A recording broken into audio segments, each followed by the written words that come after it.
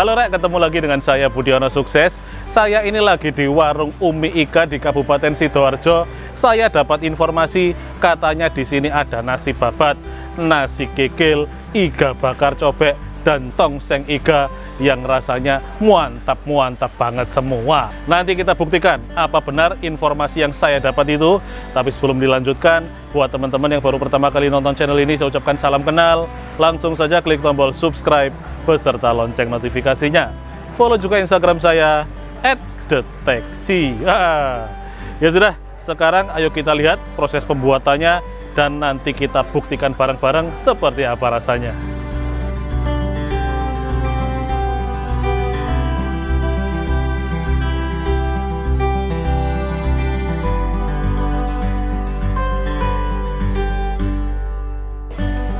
Assalamualaikum. Waalaikumsalam. Nah, Dengan Umi Ika, nggih? ini saya Umika.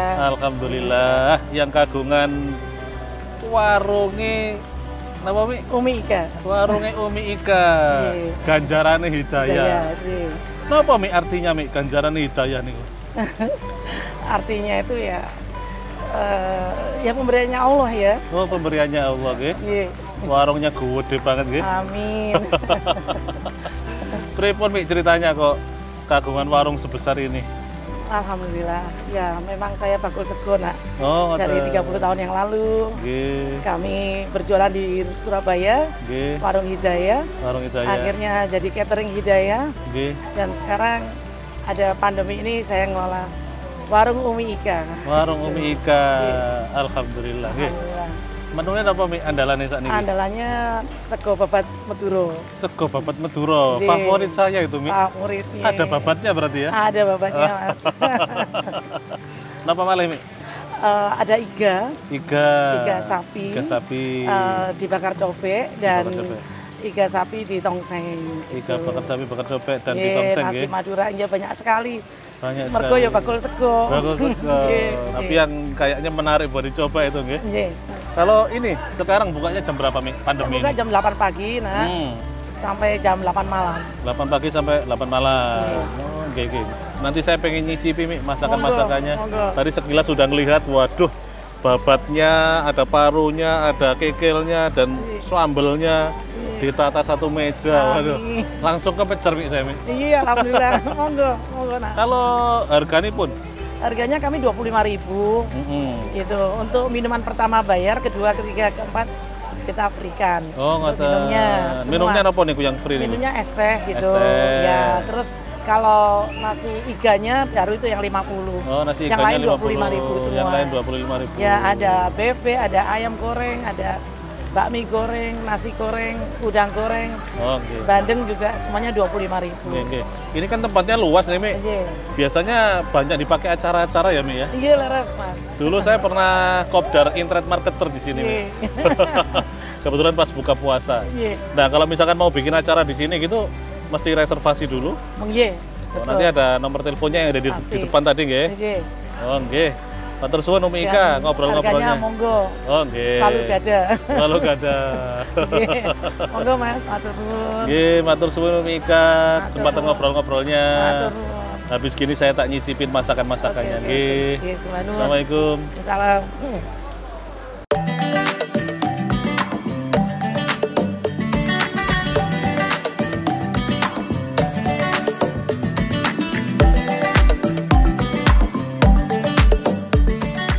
Nah, Rek, di warung Umi Ika yang ada di Jalan Raya Jati nomor 23 di Kabupaten Sidoarjo ini, menunya ada banyak banget.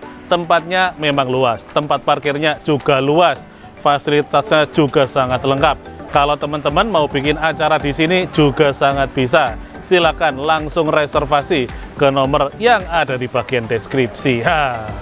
Nah, sore hari ini karena saya pengen membuktikan informasi yang saya dapatkan, katanya di warung Umi Ika ini nasi babatnya, nasi kikilnya, iga bakar cobeknya, dan tongseng iganya katanya rasanya mantap-mantap semua, maka saya memesan keempat menu tersebut.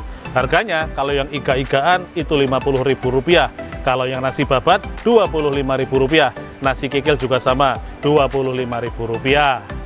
Nah ini dia rek tongseng iganya, porsinya banyak banget.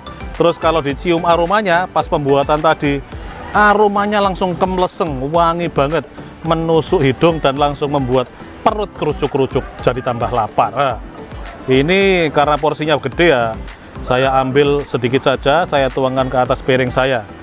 Nah, ini bumbu-bumbunya. Tongseng itu biasanya dari kambing, tapi di warung Umi Ika ini unik. Tongsengnya terbuat dari iga sapi. Ha.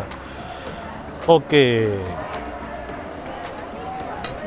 Ya sudah rek, sekarang langsung kita cicipi dari tongseng iganya. Kenapa kok dari tongseng iganya? Ya karena ini ada kuahnya. Nanti kalau lama-lama ya jadinya tambah dingin. Dan kalau makanan berkuah, menurut saya enaknya memang dimakan selagi panas seperti ini. Wah, langsung dicoba yuk. Bismillahirrahmanirrahim. Hmm. Kuah dari tongsengnya itu langsung terasa. Bumbunya puwepek banget, suwedep banget. Dan juga merasuk ke iga-iganya. Kita lanjutkan. Hmm.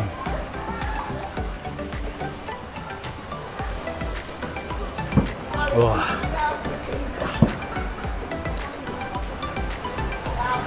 Hmm. Hmm.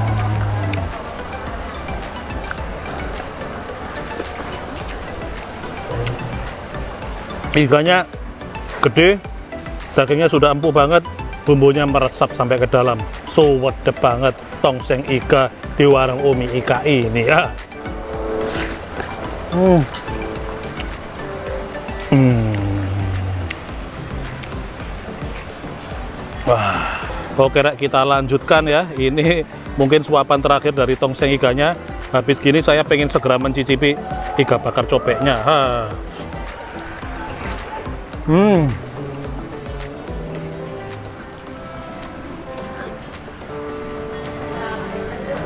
Hmm.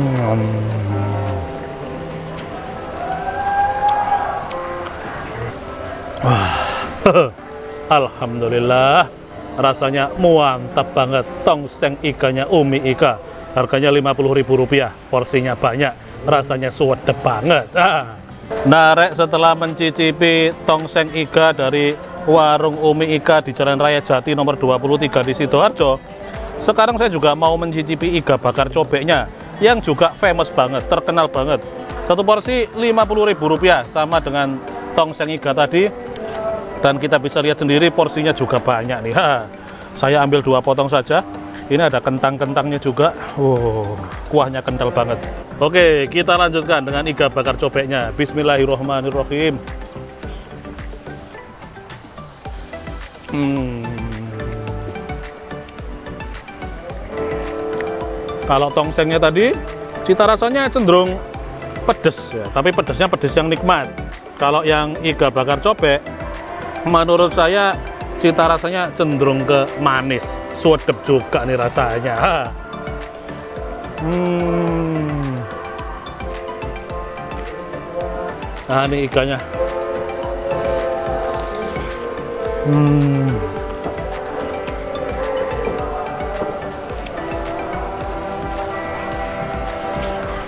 Hmm.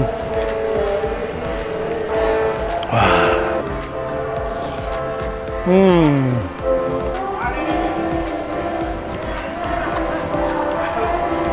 Oke, nasinya kita habiskan sekalian. Wah. Hmm.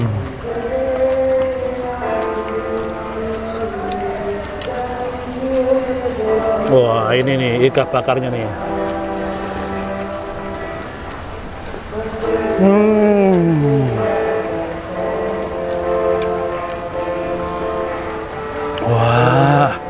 dagingnya langsung mubrul empuk banget Nah, Rek, setelah mencicipi tongseng iga yang rasanya mantap banget, dilanjutkan dengan iga bakar cobek yang rasanya juga nggak kalah mantap. Sekarang saya lanjutkan dengan mencicipi nasi kekilnya. Nasi kekil satu porsi ini tadi harganya Rp25.000 teman-teman lihat sendiri porsinya ada banyak banget jadi kekilnya dioseng-oseng dulu kemudian ditaruh di atas nasinya dikasih serondeng dikasih brambang goreng terus kemudian ada sambelnya Ini sambelnya warnanya kemerah-merahan, sepertinya pedes banget. Ah. Oke rek, sekarang langsung kita cicipi seperti apa nasi kekil di warung Umi Ika di Jalan Raya Jati nomor 23 di Sidoarjo ini ya. Bismillahirrohmanirrohim.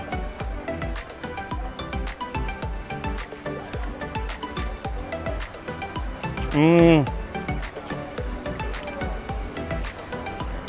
Wah, suapan pertama dari nasi kikilnya. Kikilnya itu empuk banget, rasanya suwedep banget. Kemudian kesenggol dengan serundengnya yang rasanya gurih-gurih manis ini. Wah, rasanya jadi tambah nikmat. Sekarang saya coba dengan sambelnya. Wah, terasa banget juga nih nasinya pulen. Hmm.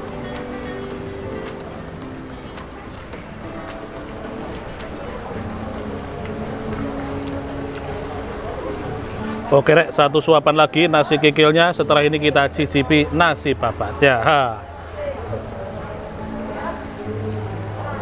Hmm.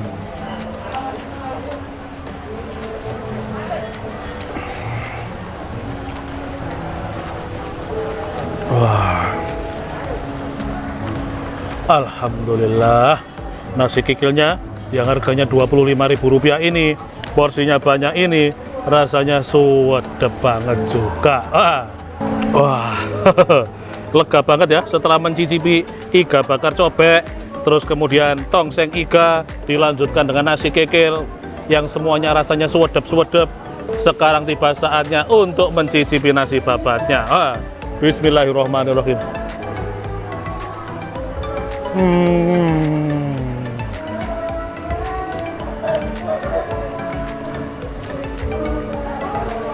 Hmm. Masya Allah. Nikmat banget nasi babatnya Baik dari babatnya itu sendiri Yang bumbunya sudah meresap sampai ke dalam. Kemudian porsinya yang banyak Itu membuat mata puas. Serundengnya gurih-gurih manis. Sambelnya juga pedas ternyata. Wah, Menambah kenikmatan nasi babat Umi Ika ini. Ha, Lanjutkan. Hmm. Wah tidak ada kata lain selain ini rasanya mantap banget. Serundengnya saya awur-awurkan ke atas nasinya biar rata. Meskipun ini serundengnya sudah banyak sih, tapi biar lebih nikmat, biar lebih gampang makannya saya rata-ratakan dulu. Kalau sambelnya agak nanti pelan-pelan, sedikit demi sedikit. Oke, lanjutkan sampai tuntas nasi babatnya. Hmm.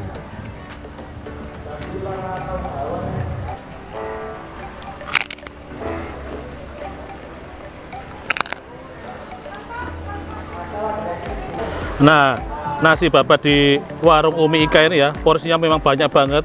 Potongannya ini ada babatnya, kemudian ada juga parunya, dan ada juga empalnya. Jadi harganya murah, porsinya banyak, rasanya nikmat. Kita lanjutkan.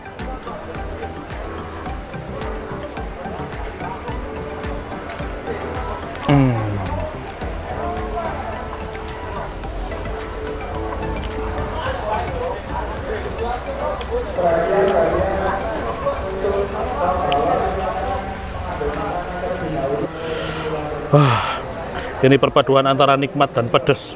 Tapi pedasnya bisa dikontrol sih, karena teman-teman bisa ngambil sambalnya sedikit demi sedikit kalau nggak suka pedasnya. Ha. Hmm.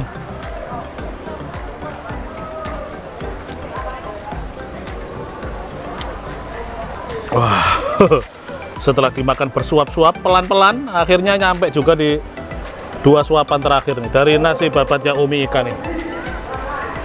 Hmm.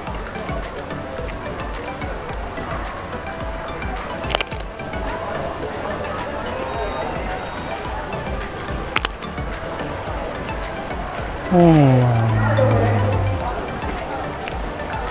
Nah, ini dia suapan terakhir dari nasi babat Umi Ika di Jalan Raya Jati nomor 23 Kabupaten Sidoarjo. Hmm.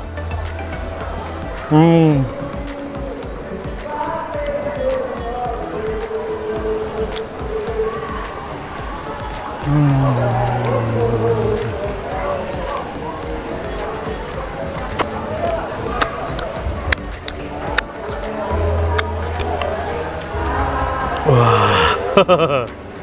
Alhamdulillah. Sudah tuntas saya menikmati satu porsi nasi babat Umi Ika di Jalan Raya Jati nomor 23 di Kabupaten Sidoarjo. nasi babat Umi Ika yang saya nikmati terakhir tadi harganya Rp25.000. Porsinya banyak banget, rasanya pun juga suwedep banget. Kemudian nasi kikilnya juga sama Rp25.000, porsinya juga banyak, rasanya juga mantap. Sebelumnya, tadi saya menikmati iga bakar cobek, harganya Rp50.000. Porsinya juga banyak, rasanya mantap banget. Kemudian yang pertama saya cicipi tadi, tongseng iga juga Rp50.000 porsinya pun juga banyak, rasanya pun juga mantap. Jadi bisa saya katakan kalau semua makanan yang barusan saya nikmati di warung Umi Ika yang ada di Jalan Raya Jati nomor 23 di Kabupaten Sidoarjo ini rasanya mantap-mantap semua. Harganya pun juga terjangkau, tempatnya luas, parkirannya juga luas. Cocok banget untuk datang sendiri, makan bersama keluarga, maupun rame-rame bikin acara. Wah! Oke teman-teman, terima kasih sudah menyaksikan video saya kulineran di Sidoarjo dan sekitarnya. Silahkan like, komen, share, dan subscribe jika belum. Kalau teman-teman punya informasi tentang kuliner-kuliner yang unik dan menarik, maupun ketika ada kakek-kakek, nenek-nenek yang masih berjualan di era pandemi COVID-19 ini, silahkan tulis di bagian komentar. Insya Allah nanti akan saya coba atau saya temui ke sana. Wuh, tambah kenceng lah ini musiknya, rek. Ada orang lagi latihan musik, mau bikin acara di sini, wah, joget sekalian. Tetap sehat, tetap semangat, tetap berpikir positif, terus berbuat baik, dan tetap berhati Indonesia. Semoga kita semuanya semakin sukses. Dadah!